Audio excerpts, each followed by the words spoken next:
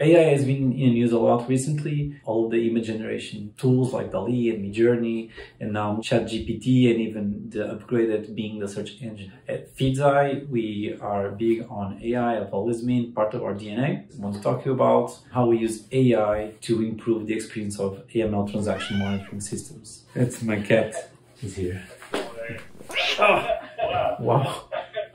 Hi, this is João, and this is Feedzai Financial Crime News Weekly Update. In an AML transaction monitoring solution, there are multiple places where we can make AI work in favor of the financial institution. So it can split into two big areas. On one hand, detection. You want to make the regulators happy. You want to reduce the risk of your financial institution being exposed to financial crime. And on the second hand, you have more of the operational side, compliance analysts, opening SARs and all of this. And AI can have a very big impact in these two areas in different ways. One of the ways, if you think about detection, it's actually more of a vision or an approach. There's this tendency to build a model, train a model, machine learning, AI, super cool. But it's more about the process on how you get there. So for the detection, we advise our customers to go into a three-step process. You start with rules. You can use your solutions rules or your existing rule set. And then rules will generate alerts and alerts will generate activity from your operations team. So be it SARs or escalations. With this,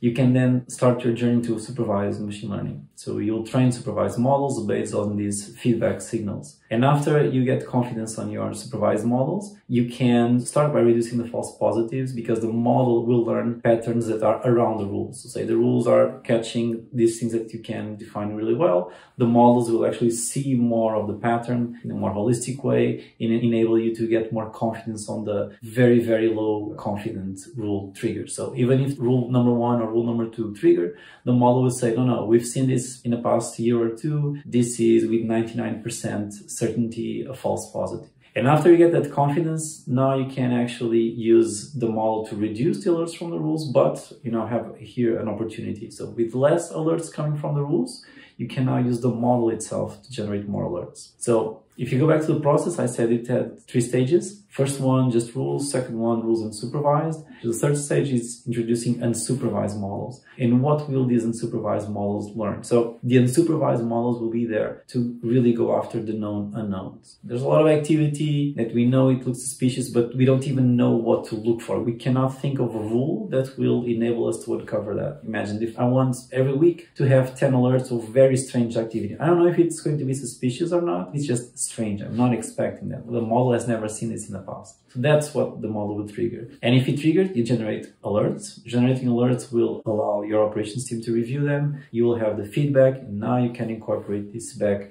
either into your rules or your model, your supervised model. So at the end of the day, you'll end up with a very mature system that will combine rules, so let's say static AI, supervised learning, and then supervised learning, all in one system that will help you be more agile in detecting AML. The second area where AI can help is when we look at the operational side of transaction monitoring. So first we have the detection, now it's the operational part. And here it's all about how can we make make the analysts spend time in what's more important for them. So the typical grunt work, we want to make it as automatic as possible. And the human work needs to be where the juice is at. And when I talk about this, what I mean is that what we see that typically analysts working lots of systems, they need to copy paste information from here and there, put it all in a big Excel spreadsheet and then do some manual queries in that. And what I mean by making this easier is that we already have all the data in one place, right? You have the transaction monitoring system, you have some reference data and some enrichments over there. If it's all in one place,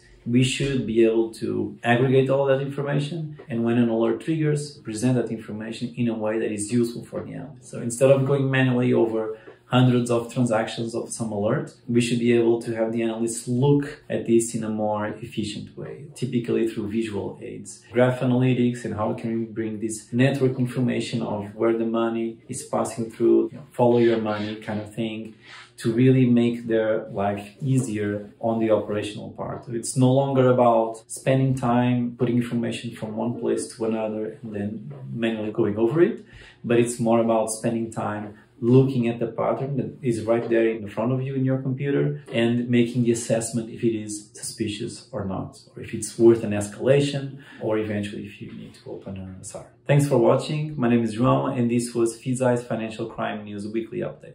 Oh no, I have blood. oh no! This cat is crazy.